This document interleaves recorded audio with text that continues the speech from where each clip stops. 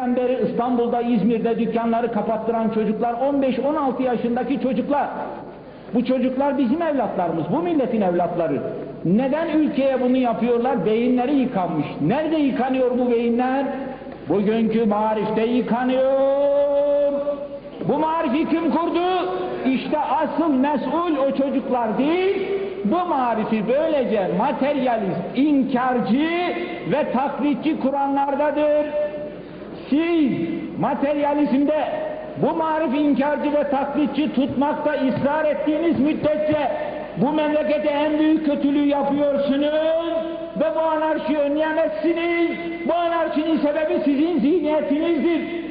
Çünkü Adalet Partisi ve Halk Partisi'nin temelde müşterek olan materyalist zihniyetleri yöneticilerinin bu zihniyet zannediyor ki herkesin başına bir jandarma dikmekle bu işi halledecek. Yolunuz yanlış. İşte bak bir baba şefkatiyle hatırlatıyorum. Herkesin başına bir jandarma dikmeye kalkacağınıza herkesin kalbine bir manevi jandarma dikiniz. Kolay yol budur, çıkar yol budur. Bakınız anarşiyi düzeltmek için birinci şart tarafsız idarenin kurulmasıdır. Tarafsız idare şart. Adalet Partisi iktidara geldiği zaman Halk Partisi diyor ki siz falanca anarşistleri koruyorsunuz. Halk Partisi geldiği zaman Adalet Partisi diyor ki siz falancı anarşistleri koruyorsunuz. E bu durumda, bu durumda demek ki milletin bir bölümünün belli bir zihniyete itimadı yok, diğer bölümünün diğer zihniyete itimadı yok. Sizin iktidarlara gelmeniz, bakınız samimi olarak söylüyorum, adeta taraflardan birinin hakemlik yapmaya kalkışmasına benziyor. Milli selameti bu hakem mevkine oturtmaktan başka bugün için çareniz yoktur. İşte rakamlar da, rakamlar da bunu teyit ediyor. Bakınız biz iktidarda bulunduğumuz yıllarda alın rakamlara bakınız. Bu rakamlar göreceksiniz ki düşmüştür. Kıbrıs Harbi'nin arkasında anarşi sıfıra indi ve bizim iktidarda bulunduğumuz zamanda şu 20 senelik anarşi devrinin içerisinde en az anarşik olayın bulunduğu yerdir. Milli selamet anarşiye karışmamıştır ve bundan dolayıdır ki bütün bunlar şimdi milletimizin dikkatinden kaçmıyor. Anarşik olaylar arttıkça milletimizin milli selamete teveccühü bu sebepten dolayı gittikçe artmaktadır. Muhterem milletvekiller, bugünkü hükümet işe başlarken anarşi önleyeceğim diye hükümet programında bir takım idari tedbirler, bir takım kanun tedbirler getirdi. Aslında hükümet programında söylemiş olduğu bu tedbirlerden hiçbirisini kendisi ciddi olarak almış değildir. Sadece Halk Partisi'nin Millet Meclisi'ne getirmiş olduğu kanunlara sahip çıkmaya kalkıştı. Ben şu şu şu kanunları getireceğim demişti. Üç aydan beri sözünde durma. Bu kadar emniyetli bir konuda getirdiği bir tek kanun yok. Çünkü bu hükümet biraz sonra söyleyeceğim gibi aslında bu milletin meseleleriyle meşgul değildir. Bak bir kardeş şefkatiyle söylüyorum.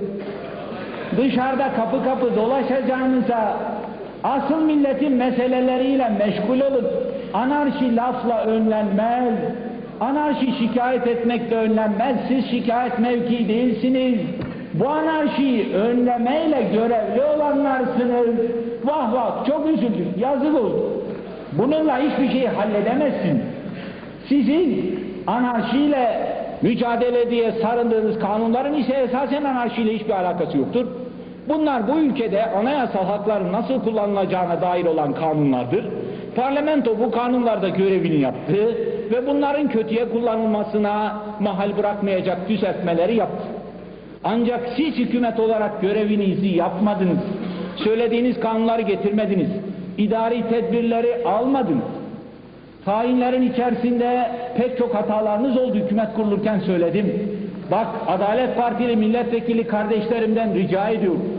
İçişleri Bakanlığı'nı koşarak şu ahbabı şuradan şuraya buradan buraya tayin edin diye meşgul etmeyiniz. Her şey kulağımıza geliyor. İçişleri Bakanlığı görevini yapacak şekilde rahat bırakın tayinlerini yap. Şu polisi şuradan şuraya, aman bu emniyet müdürünü buradan buraya alayım diye bir taraf bir hareketi bozmayın. Bozmayın. Yapmış olduğunuz tayinleri yeniden gözden geçirin. Siz bir takım anarşiyle mücadele için plan program geliştirmeniz lazım gelirken, istihbarat teşkilatını geliştirmeniz lazım gelirken bunlardan hiçbirini yapmadınız. Üç aydan beri yaptığınız şey ha anarşi oldukça vah vah yazık oldu bunları ezeceğiz. Eşkıyaya meydan okuyoruz. Var mı bize yan bakan? Bunlarla anarşiyi önleyemezsiniz. Bunlarla anarşi önleme. Bilakis bu yaptıklarınızda siz eşkıyayı devlete eşit mevkiye çıkartıyorsunuz. Haberiniz yok. Siz devletsiniz. Meydan okuyacak değilsiniz. Tedip edeceksiniz. Tedip. Sosyalist düzenlerin çekmesinde en büyük rolü ahlaki çöküş oynamaktadır. Batı ülkelerinde içki, kumar, uyuşturucu, fuhuş ve her türlü ahlaksızlık korkunç bir şekilde çoğalmaktadır. Aile yapısı yıkılmaktadır. Halbuki Refah Partisi önce ahlak ve maneviyat diyen partidir.